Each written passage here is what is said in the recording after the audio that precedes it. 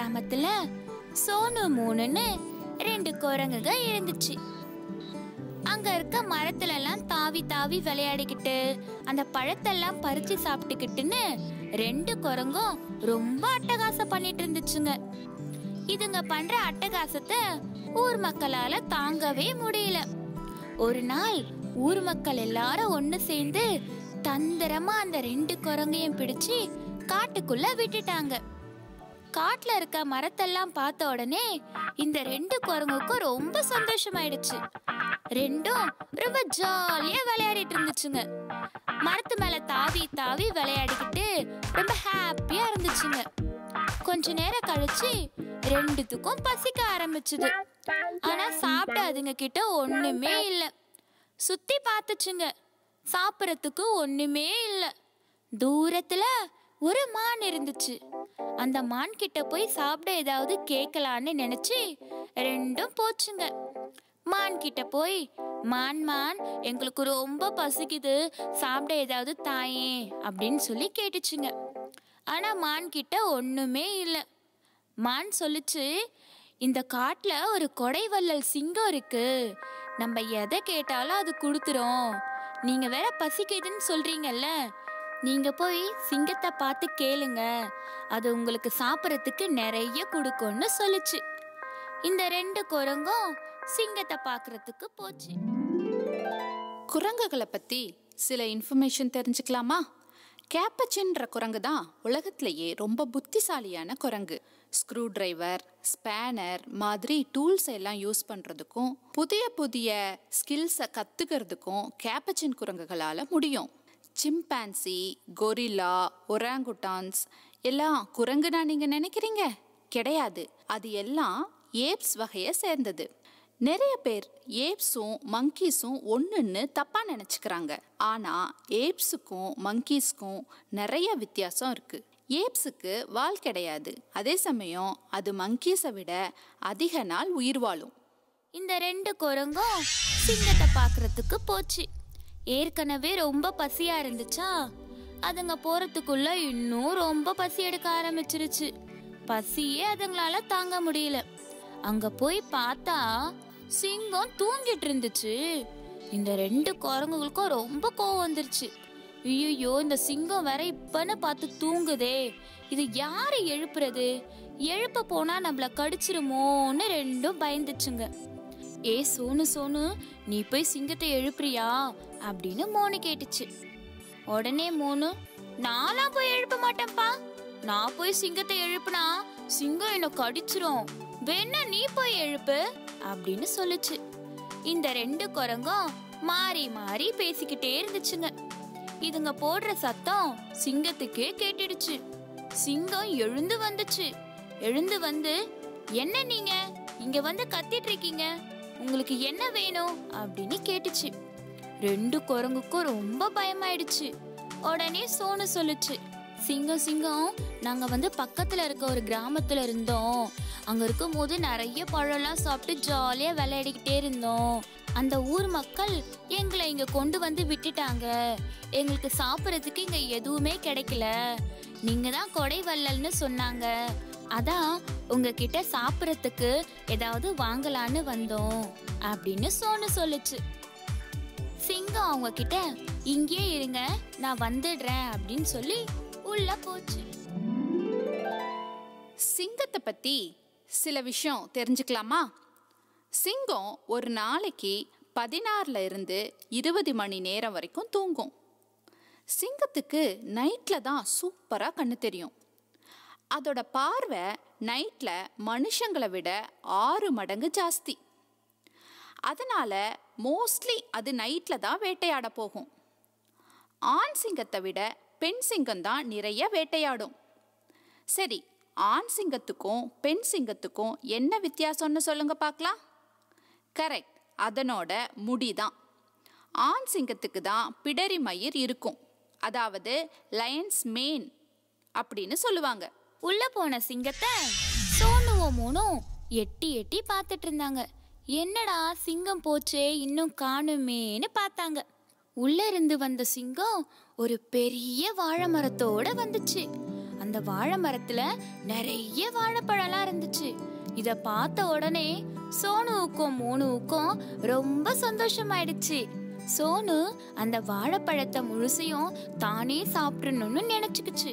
மோனுவும் அதே மாதிரி தான் நினைச்சுக்கிட்டான். இந்த சிங்கம் அந்த வாழை மரத்தை தந்த உடனே ரெண்டு குரங்கும் பழத்துக்காக சண்டை போட்டுக்குச்சுங்க. சிங்கம் சிங்கம் எனக்கு தான் இந்த பழம் வேணும் அப்படின்னு சோனு சொன்னான். அதே மாதிரி மூணுவும் இல்ல இல்ல எனக்கு தான் இந்த பழம் வேணும் அப்படின்னு சொல்லி ரெண்டு குரங்குகளும் சண்டை போட்டுக்குச்சுங்க. இதுங்க போடுற சண்டைய பார்த்த சிங்கத்துக்கு ரொம்ப கோவம் வந்துருச்சு. என்ன நீங்க? பழத்துக்காக இப்படி சண்டை போட்டுக்கிறீங்க? இதுக்கு நான் ஒரு தீர்ப்பு சொல்றேன் அப்படின்னு சொல்லுச்சு. சிங்கம் அந்த வாழை மரத்தை சோனு கிட்ட கொடுத்துச்சு. இங்கே இரு இதோ நான் வந்துடுறேன் அப்படின்னு சொல்லிட்டு உள்ள போய் இன்னொரு வாழை மரத்தை எடுத்துட்டு வந்துச்சு. அந்த வாழை மரத்துலயும் நிறைய பழங்கள் இருந்துச்சு. அத மூணு கிட்ட கொடுத்துச்சு. மூணுவுக்கும் சந்தோஷமாயிடுச்சு. அப்ப சிங்கம் சொல்லுச்சு நீங்க ரெண்டு பேரும் சண்டை போட்டீங்கல்ல இந்த வாழை பழத்துக்கு தானே சண்டை போட்டீங்க? நான் கொடுத்த இந்த வாழை மரத்தை நீங்க பயனுள்ள வகையில பயன்படுத்தணும். நான் வந்து உங்களை ஒரு நாள் பார்ப்பேன். அப்ப நீங்க இந்த வாழை மரத்தை வச்சு என்ன செஞ்சிருக்கீங்கன்னு என்கிட்ட சொல்லணும்னு சொல்லுச்சு. ஒன்னா வந்த இந்த ரெண்டு குரங்குகளும் தனித்தனியா வேற வேற பாதையில போச்சுங்க.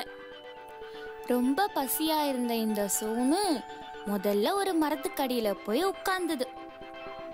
உட்காந்து இந்த பழத்தை பார்த்த உடனே ரொம்ப ஆசை வந்துருச்சு அதுக்கு. எல்லாத்தையும் நம்ம வேக வேகமாக சாப்பிட்றலான்னு இந்த பழத்தெல்லாம் ரொம்ப வேக வேகமாக சாப்பிட ஆரம்பிச்சுது. எல்லா பழத்தையும் சாப்பிட்டுட்டு மரத்தை தூக்கி போட்டுடுச்சு. தூக்கி போட்டு அமைதியாக தூங்கிட்டு இருந்துச்சு.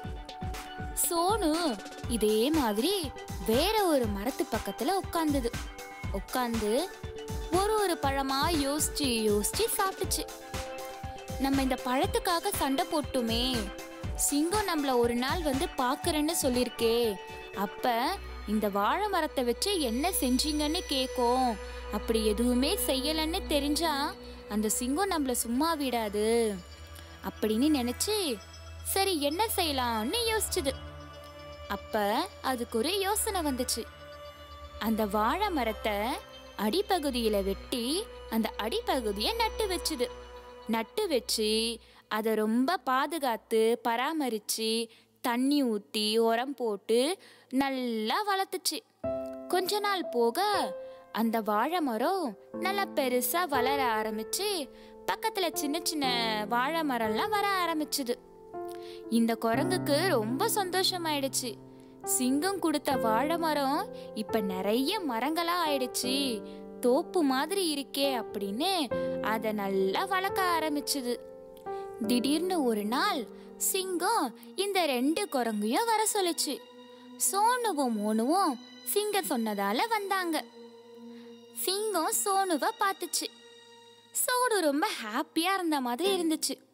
அதுவே மோனுவையும் பார்த்துச்சு. மோனு ரொம்ப சோகமா நின்னுட்டு இருந்துச்சு. மோனு கிட்ட போய் மோனு நான் உன்கிட்ட அன்னைக்கு ஒரு வாழை மரம் கொடுத்தேன்ல அதை நீ என்ன பண்ணன்னு கேட்டுச்சு. மூணு தலை குனிஞ்சுக்கிட்டு அமைதியா நின்னுச்சு. சிங்கத்தை பார்க்கவே இல்ல சிங்கத்துக்கிட்ட ஒண்ணுமே பேசல. இது ஒண்ணுமே பேசாதப்பவே அந்த சிங்கத்துக்கு புரிஞ்சிருச்சு. இந்த மூணும் இந்த வாழைப்பழத்தெல்லாம் சாப்பிட்டுட்டு ஒண்ணுமே செய்யல போல. இது எல்லாத்தையும் வேஸ்ட் பண்ணிருக்கு அப்படின்னு நினைச்சுக்கிட்டு சோனுவை பார்த்துச்சு. சோனி கிட்ட போய் நீ அந்த மரத்தை வச்சு என்ன செஞ்சன்னு கேட்டுச்சு. குரங்குகளுக்கெல்லாம் ரொம்ப பிடிச்ச உணவு என்னன்னு தெரியுமா? கரெக்ட் வாழைப்பழம்தான் நீங்க எல்லாம் எல்லோ கிரீன் கலர்ல தான் வாழைப்பழத்தை பார்த்துருப்பீங்க. ஆனா வேற என்னென்ன கலர்ல எல்லாம் வாழைப்பழம் இருக்குன்னு தெரியுமா? ரெட் ப்ரௌன் பர்பிள் கலர்ல எல்லாம் கூட வாழைப்பழம் இருக்கும். இந்தியாவில் தான் வாழைப்பழத்தை அதிக அளவில் உற்பத்தி செய்கிறாங்க வாழை அப்படிங்கிறது ஒரு மரம் கிடையாது. அது ஒரு மூலிகை வகையை சேர்ந்தது. அதாவது அது ஒரு ஹர்ப் ஏன்னா வாழை மரத்தோட தண்டுல ஒட்டு கிடையாது. சோனி கிட்ட போய் நீ அந்த மரத்தை வச்சு என்ன செஞ்சன்னு கேட்டுச்சு.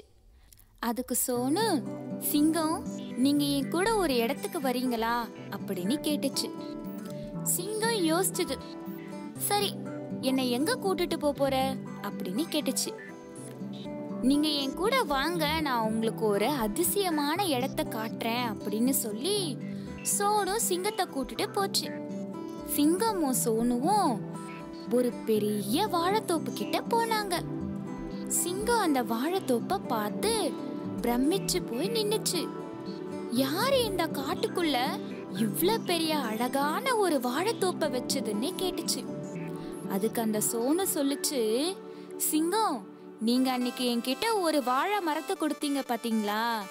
அந்த மரத்தை வச்சு நான் உருவாக்குன தோப்பு இது அப்படின்னு சொல்லுச்சு. இத கேட்ட உடனே சிங்கத்துக்கு ரொம்ப பெருமையாயிடுச்சு. நான் கொடுத்த வாழை மரத்தை இவ்வளவு நல்ல பயனுள்ள வகையில பயன்படுத்திருக்கியே அப்படின்னு இந்த சோனுவை ரொம்ப பாராட்டுச்சு. சோனுக்கு ரொம்ப ஹாப்பி ஆயிடுச்சு. அது அந்த வாழை மரத்தெல்லாம் ரொம்பவே நல்லா பார்த்துக்கிட்டு ரொம்ப சந்தோஷமா இருந்துச்சு. இந்த கதையில இருந்து நீங்க என்ன தெரிஞ்சுக்கிட்டீங்க? நமக்கு கிடைக்கிற எதை ஒன்னையும் தேவையில்லை வேஸ்ட்ன்னு குறை சொல்லாம அதை எப்படி பயனுள்ள வகையில பயன்படுத்தலாம் அப்படின்னு யோசிக்கணும்.